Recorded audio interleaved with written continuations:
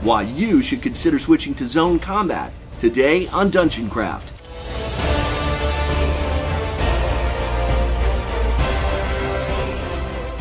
Welcome to Dungeon Craft. I am Professor Dungeon Master coming to you from beautiful Dungeon University. And here, do we employ mad scientists? No, that's MIT. Here, we help you run a better game of Dungeons and Dragons and other RPGs. And I'm Deathbringer. Level up your game by subscribing and hit the bell icon so you don't miss any of our videos. Today we're talking about zone combat and zone terrain and why I think there are a lot of advantages to them.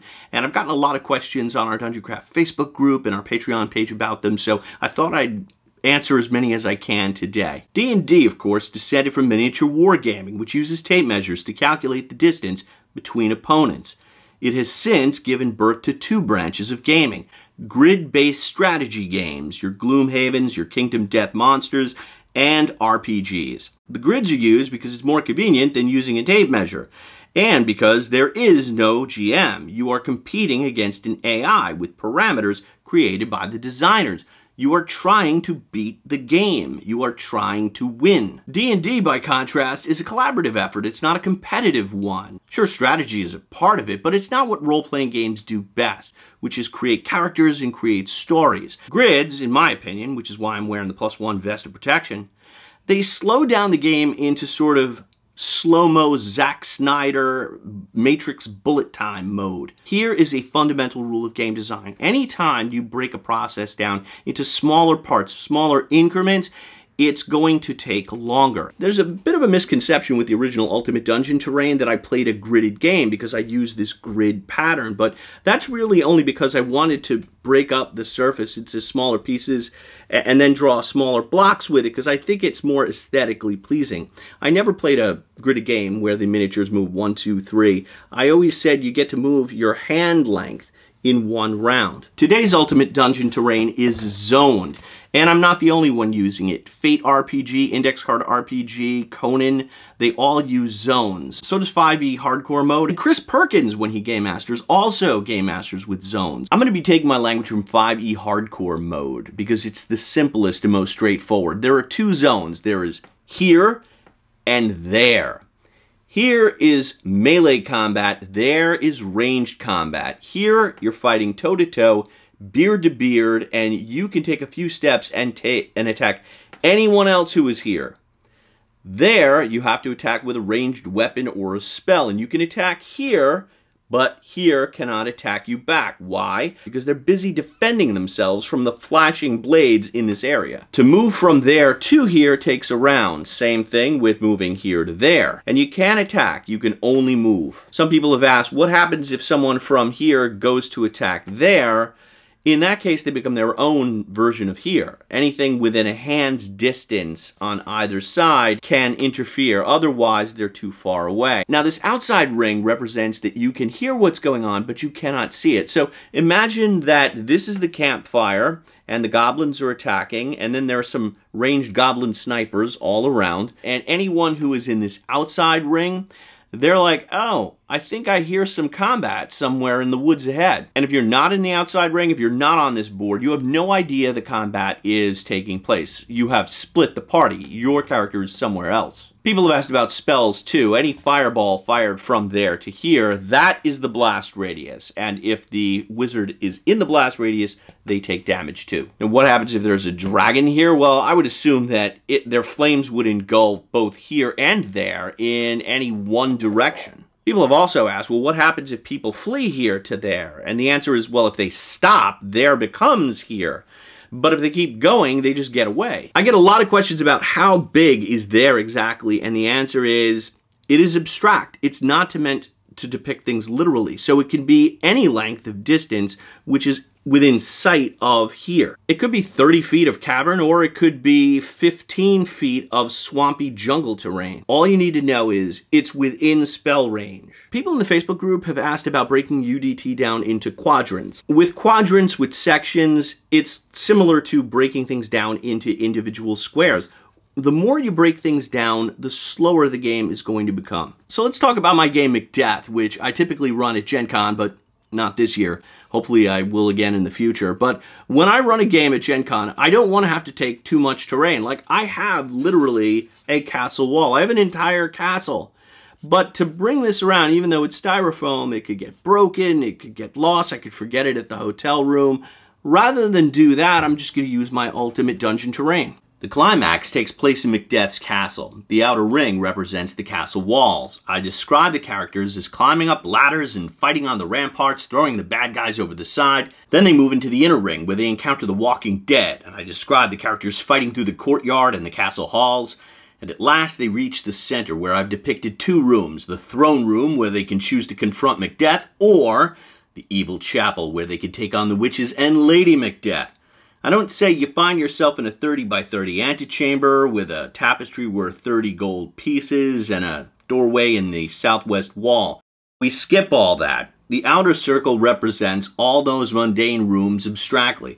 The important thing is that they're fighting Macbeth on a staircase and they have to interrupt the witches before they sacrifice a baby to the dark gods. Boom! Entire castle siege in the center of your kitchen table.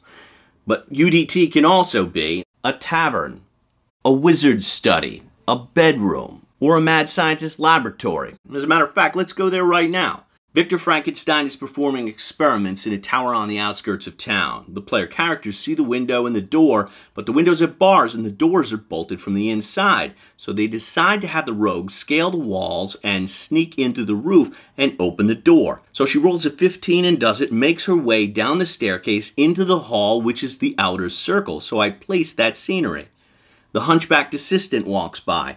The rogue hides in the shadows, gets a natural 20, so she waits for him to pass, then sneaks over and sneaks a peek through the archway and sees Dr. Frankenstein and his monstrous creation inside. She decides not to engage. Instead, she removes the bolt and lets the rest of the party inside, and they enter the inner circle. Now, everyone inside that inner circle can attack Victor Frankenstein or the creature, and they're all within striking range of their enemies. Meanwhile, the rogue stays outside and chucks throwing knives. She's using her ranged weapons, the knives, on the creature, but the creature cannot harm her because she's out of the zone. That's when the hunchback attacks from behind. Now the rogue and the hunchback are engaged in melee, and the wizard, wondering why she ever entered this room in the first place, backs out. Now the wizard can attack the hunchback or the creature with her magic missile, because both are within range. Simple to set up, and you can reveal the terrain as you go along allowing the players to see what their characters see when they see it.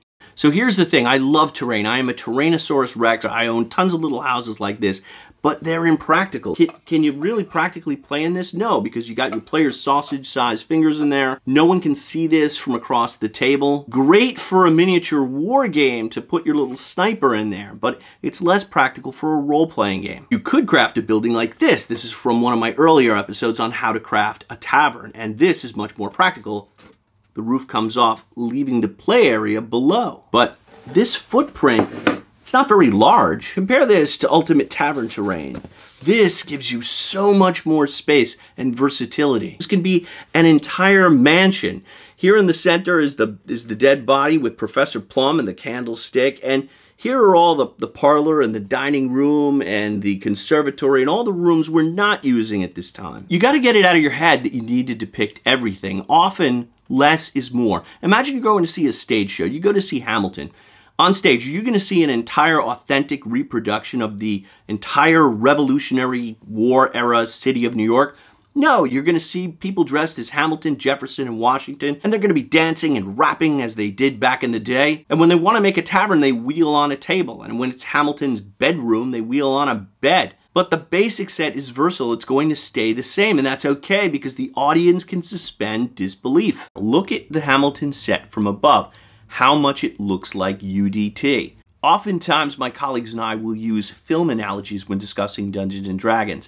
But Dungeons & Dragons actually has a lot more common, I would argue, with live theater than it does cinema. Like theater, Dungeons & Dragons requires a greater level of suspension of disbelief than a movie does. Look, this is a toy dragon. No matter how big and impressive your terrain spread on the table is, this is a still a toy dragon, and we all know that. In live theater, the main characters are always center stage. It's the minor characters who are on the periphery. UDT does the same thing, putting the characters in the middle of the action and everything is built up around them.